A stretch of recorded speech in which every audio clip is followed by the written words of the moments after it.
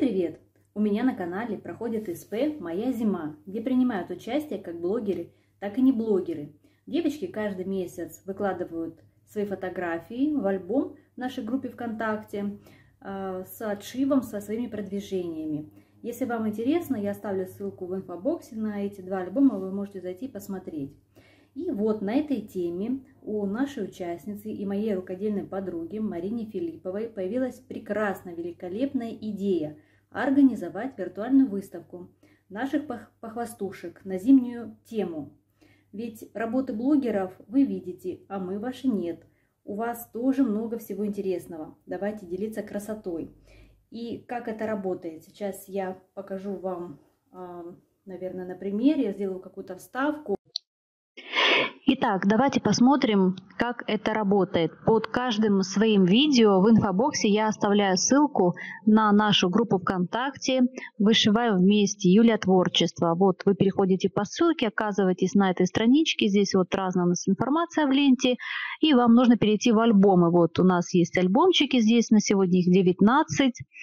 Вот, пожалуйста, все наши альбомы. Здесь мы видим выставка «Зимняя сказка». Вот он альбом. Вот у нас альбом с готовыми работами с «Мои любимые коты 3», «Моя зима». А вот у нас альбомы с отчетами по СПМ. Давайте перейдем в один из альбомов, и я вам заодно покажу, а, как можно добавить вашу заявку и как нужно отчитываться. Ну, чтобы сделать заявку, вам нужно нажать на кнопочку «Добавить фотографию», вы выберете а, свою фотографию вашей заявки и а, потом сделаете описание а, к, к фотографии, технические характеристики, почему вы выбрали данный а, а данный дизайн. Вот, к примеру, я сейчас зашла в отчет к Елене Исаевой. Елена делала заявочку вот на этого чудесного Санту.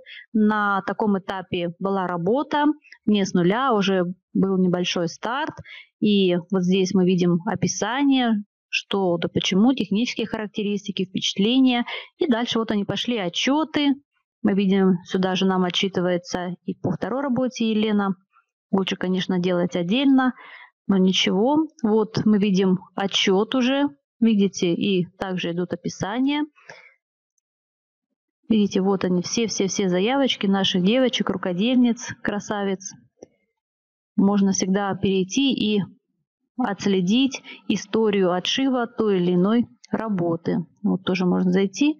Наталья Зенкина вышивает эту прекрасную работу от э, Панны. И видим, видите, вот отчет. Тут девочки пишут также комментарии. Вот все очень интересно и понятно. Вот, и возвращаемся теперь в наши альбомы. Здесь у нас вот она наша выставка «Зимняя сказка». Переходим в альбом. Здесь можно почитать информацию о данной выставке, какие работы могут принимать участие. Мы видим, что уже есть несколько фотографий. Участницы начинают заполнять альбом, но пока еще мало, потому что только-только мы вот начинаем. И давайте покажу, как здесь все устроено. Ну, начнем с моих работ. Я уже немножко здесь загрузила фотографии. А, первую фотографию мы выбираем, вы выберете самую-самую любимую для вас, а, с какую вы хотите поставить на обложку вашего альбома, так сказать. У меня в данном случае это вышивка по набору «Золотое руно». Первая любовь. Очень люблю эту работу. Она у меня постоянно висит, и я на нее любуюсь. И вот тут технические характеристики и какие-то эмоции, связанные с отшивом этой работы. Дальше в комментариях я уже начала, начала загружать другие фотографии. Вот видите, другие работы. Вот они. Мне уже пишут комментарии. Вот, видите, чуть-чуть я загрузила. Ну, еще, наверное, найду несколько работ. Дальше. Давайте сюда зайдем. Вот Настя Маркова, пожалуйста, выбрала основной работой вот эту вышивку фирмы Dimensions. Описание, Дальше вот игрушки пошли. Вот видите, сколько много. Очень красиво. А это работа Марины Филипповой. Вот как раз Марина, затейница, и придумала эту очень интересную идею организовать виртуальную выставку. И мы вместе а, будем вести этот проект. Помогать будет Марина, она тоже администратор в нашей группе, поэтому мы вместе будем стараться а, вести этот проект. Всех приглашаем а, присоединиться, я думаю, будет очень интересно. И мы видим, Марина выбрала как основную работу, это вышивка фирмы Dimensions 13673, вот такие замечательные синички. Оформление здесь э, очень сложное, интересное, широкая рама, тройной паспорту, такое углубление, очень интересно. А, вот еще одна работа от Марины. Ну, Марина пишет, что продолжение следует, поэтому а, будем ждать, конечно же, других работ. Вот. Присоединяйтесь, я думаю, что будет очень-очень интересно. И я тоже сейчас буду готовить фотографии, чтобы выложить в этот альбом. Посмотрела свои фотографии, у меня, конечно, есть фото всех моих отшивов, но, знаете, всегда я делаю на скорую руку, куда-то спешу, у меня нет каких-то интересных композиций, освещения, вот сфотографировала, и главное, чтобы была память. Но для нашей выставки мне, конечно, хочется, чтобы это было более атмосферно, наверное, представлены все работы, поэтому я решила все заново сфотографировать. Ну и так как я блогер, конечно же, снять видео, немножко вас а, понять вам настроение, создать тоже атмосферу, ну и вы повышиваете под вышивку. Первая работа – это финиш прошлого года, оригинальный набор фирмы Dimensions, кто за кем наблюдает. Я думаю, а, все вы знаете, прекрасно знаете этот дизайн, я в него была влюблена очень-очень долго. И сначала скачала схему, но потом все-таки у меня получилось приобрести набор. Я его начала, как всегда, кусочек вышила где-то и отложила этот э, дизайн на долгое время. И потом, благодаря нашему СП, по-моему, СП мои любимые КТ-2, я его там вышивала и прекрасно все завершила. Очень-очень люблю эту работу, вышивается легко, а, получается красиво, атмосферно. Здесь э, Каждая деталь, каждый элемент, все вышивается очень интересно. И коты, и скворечник, и птички, и елки, и снежинки. Все-все-все очень-очень интересно. Поэтому, если у вас есть такая работа, несмотря на то, что ее, в принципе, часто вышивают, вышивайте, очень легко вышивается, и она классная. Хочу, конечно, ее оформить, но все хочу оформить, пока вот не получается оформить. Ну, ничего, зато она у меня есть. Я могу вот так ее достать, тоже ручками ее потрогать, просматривать эту красоту. И всегда, конечно, шанс есть оформиться. Главное, что она вышита. Вот такая у меня первая работка. Идем дальше. Представляю вам вторую мою работу. Это вышивка по набору фирмы Дома Крафт. Сейчас эта фирма уже не существует. Ну, у меня был оригинальный набор, покупала я его очень-очень давно, это было или 13 или 14 год, я уже не вспомню точно. А, вышивала, по-моему, в зимний период. У меня было такое настроение, мне хотелось вышить именно этот сюжет, круглый, интересно вышивался. Вышивка в три ниточки, схема несложная, все вышло достаточно быстро. Единственное, с этой вышивкой у меня случилось неприятно, здесь полиняли нитки, где-то здесь их видно чуть-чуть не смогла я отстирать. Ну, не сильно бросается в глаза. Нужно присматриваться, чтобы видеть, что здесь есть, покрасились ниточки. Оформила в наволочку, вот в такую большую, 50 на 50 сантиметров. Я люблю, чтобы подушки были такие большие, пушистые, такие хорошо набитые, уютные и действительно очень атмосферно.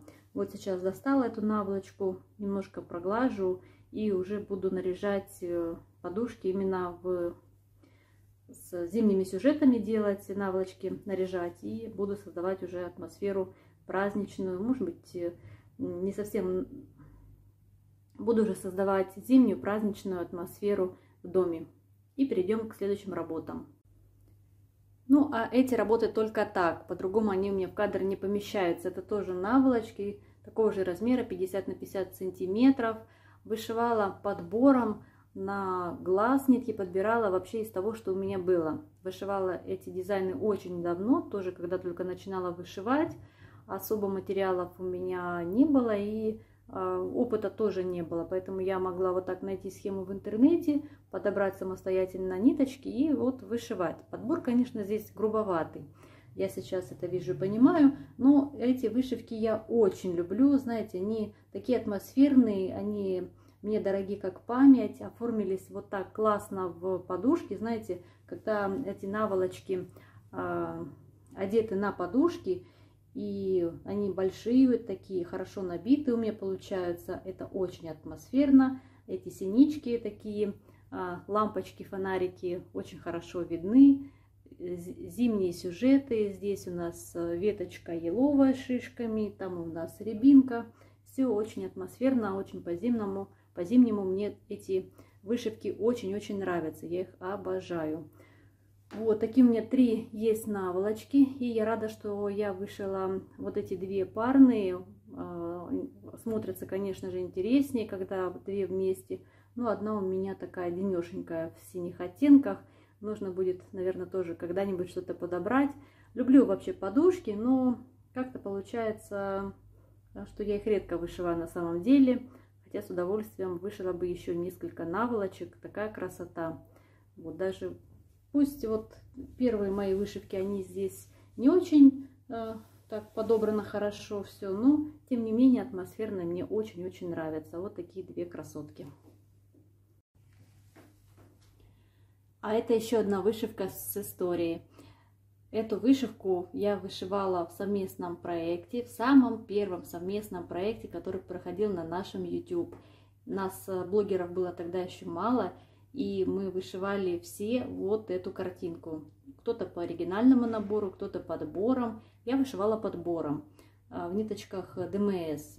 Мне очень понравилось э, вышивать этот дизайн, вышивался легко, с таким настроением.